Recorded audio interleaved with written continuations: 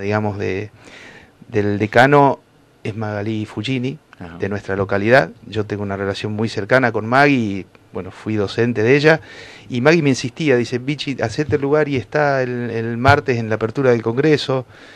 Dos veces me lo recalcó, bueno, eh, me parecía primero importante poder estar porque estamos trabajando juntos con la UNA, la, la UNA para los oyentes es la Universidad Nacional de las Artes. La Universidad Nacional de las Artes con sede en Capital Federal, con una subsede en Chaco y la otra en Tierra del Fuego. Ustedes anunciaron los otros días que eh, una nueva subsede sería en Carlos Pellegrini. Exactamente, exactamente.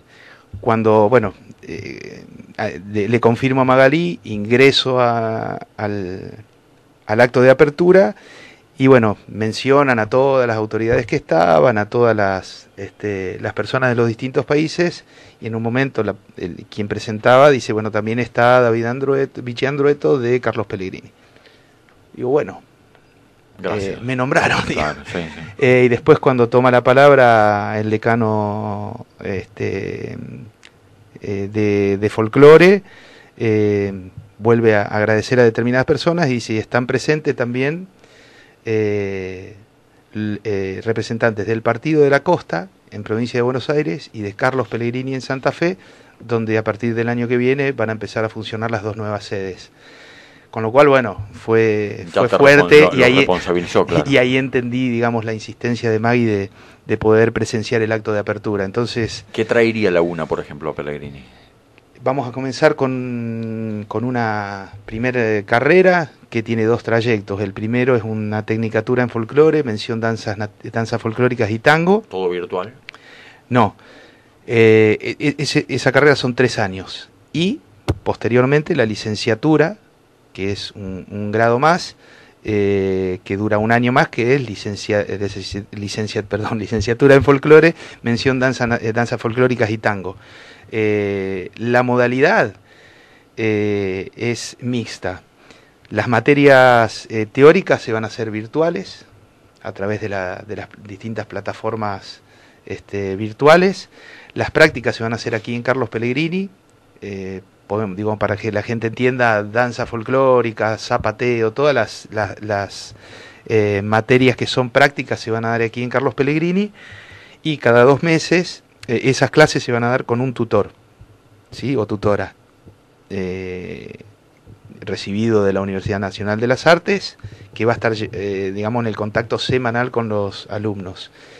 Cada dos meses van a venir los titulares de las cátedras de la UNA, quienes están a cargo de, la materia en Capital Federal, van a venir a dar este, las clases intensivas a todos esos alumnos, en conjunto obviamente con, con los tutores, eh, y eso va a ser, digamos, como el, camino a recorrer durante el año hasta que lleguen los exámenes finales. Exactamente. Bueno, e, eso como eh, por parte de la UNA. Exactamente. Esto nosotros tenemos, eh, digamos, tenemos mucho entusiasmo porque, digamos, es un camino que empezamos a recorrer. Este es el primer paso. Después, una vez que, que, pongamos en funcionamiento y de ambos lados demostremos que, que el convenio funciona correctamente y, que se cumplen con todas las, eh, las, metas propuestas, nosotros vamos a empezar a, ofrecer también en Carlos Pellegrini la carrera de mm, artes audiovisuales, lo que tiene que ver con cine. También pertenece a la UNA. Pertenece a la UNA, eh, artes dramáticas, que es teatro, eh, artes plásticas, eh, bueno, ahora, ahora no, me traje la carpetita, pero son nueve, eh, eh, nueve facultades que cada una después de las nueve facultades tiene eh, al menos diez posibilidades de, desarrollo. Por ejemplo, en folclore vos tenés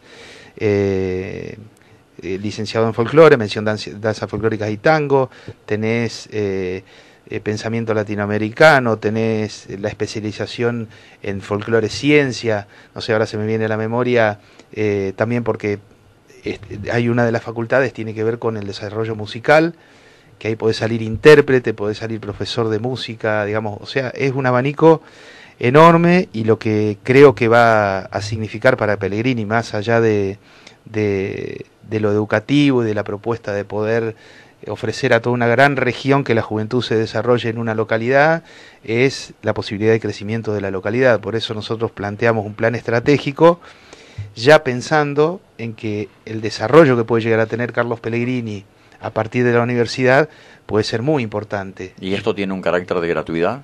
Para los alumnos es absolutamente gratuito, libre y gratuito. ¿Por qué para los alumnos decir? Porque porque para los alumnos es libre no, y gratuito. No tiene, no tiene costo. No tiene costo. No, no, no. Obviamente que este que quien tiene la, la, la, subsede se tiene que hacer cargo de los viáticos de los docentes que vengan de Buenos Aires. Por eso digo, hay un costo desde, desde la sede. ¿Que eso lo absorbería la comuna? En, en ¿O debería absorberlo la comuna? Nosotros el año que viene comenzamos sí o sí. Estando en la gestión o no estando en la gestión. O sea que, digamos, ese costo se va a absorber. O sea, la Universidad Nacional de las Artes en el 2022 llega a Carlos Pellegrini, ¿les toque ser gobierno o no? Exactamente, sí o sí. Porque el convenio está firmado y porque eh, ese fue el compromiso con las autoridades y nosotros no podemos ser irresponsables de tirar esto como una propuesta de campaña y decir, uy, no ganamos, no. Absolutamente, nosotros si decimos o, o, o, o digamos, elevamos una propuesta a la localidad es porque sabemos que la podemos llevar adelante. No cometeríamos la irresponsabilidad de, digamos, sumarle a todos los problemas que tiene la, la, gente, a todas las problemáticas que tiene la sociedad, empezar a tirar cosas que después no, no puedes llevar adelante. Por eso te digo, si somos gestión, se hará desde la comuna, si no desde lo independiente, pero la Universidad Nacional de las Artes va a llegar el año que viene a Carlos Pellegrini y eh, esto también es una una, una, puerta que se abre para la posibilidad de albergar a otras universidades. Nosotros con Creer en Red también tenemos un, es una asociación civil, tenemos un convenio con la UNR firmado en el año 2020 y a partir de eso vamos a poner en marcha también, eh, ganemos o perdamos la, elección, la Escuela de Artes y Oficios. Esto también es, eh, digamos, nosotros ya veníamos... Eh, desde siempre observando la, necesidad de la gente de, capacitarse, sobre todo los jóvenes, aquellos que, deciden no estudiar porque no les, no les es propio el tema de, encarrar, de encarar una carrera, eh, pero sí les, hubiera, les, gustaría capacitarse en algún oficio que le permita ganarse el sustento. Y nosotros veníamos con esa idea hace muchos años y el año pasado la pudimos concretar a través de, de la firma del convenio con, con Franco Bartolacci de la UNR y eh, obviamente, ¿no? Ponerlo en funcionamiento cuando estén las condiciones dadas. Eso, eso sí reclama indudablemente que tengan un carácter presencial, ¿no? Eso es... Digo, eh, a diferencia de alguna otra carrera donde podés hacer un mix de lo virtual con lo presencial, bueno, carreras de oficio son obviamente presenciales. Sí, pero hay hoy en día eh, todo, todo, todo es muy dinámico. Nosotros ya pusimos en marcha este convenio, lo hicimos desde Los Molinos en San Jorge. Eh, que fue una, eh, un trayecto mixto. Eh, digamos, la, la, temática era impresión 3D y, y, los alumnos cursaron durante un tiempo virtual y después los docentes vinieron a, a los molinos a realizar la parte práctica. Eh, así que bueno, yo creo que los, los basamientos técnicos, la cuestión teórica podrá ser virtual y después sí o sí, obviamente, una cuestión práctica en, en la localidad. Tanto la UNA como la Escuela de Oficios en abril del año que viene están en funcionamiento en Pellegrini. Perfecto. Eh, te agradezco la visita. La semana que viene eh, nos, eh, nos planteaste el tema de servicios públicos. Exactamente, podemos la semana que viene servicios públicos y también, si te parece, lo vamos a charlar con los chicos de la lista, pero nos comunicamos, puede ser también la cuestión medioambiental. Medioambiental. Exactamente. Eh, servicios públicos abarca indudablemente lo que tiene que ver con eh, aquellas, eh, aquellos servicios que son indudablemente eh, claves para la calidad de, cada, de vida de los peregrinenses. Exactamente, y sobre todo también hemos encontrado mucha demanda de lo que tiene que ver con la ruralidad, así que vamos a, a poder abordar estos, estos temas que tienen que ver con los servicios en la localidad, con los caminos rurales y también toda la cuestión medioambiental que, bueno, eh, también ahí tenemos eh, una mirada muy, muy amplia y muchas propuestas para, para poder generar entre toda la comunidad la mejor calidad de vida. ¿no? Te esperamos la semana que viene. Muchas gracias a ustedes. Pellegrini en movimiento sí al debate.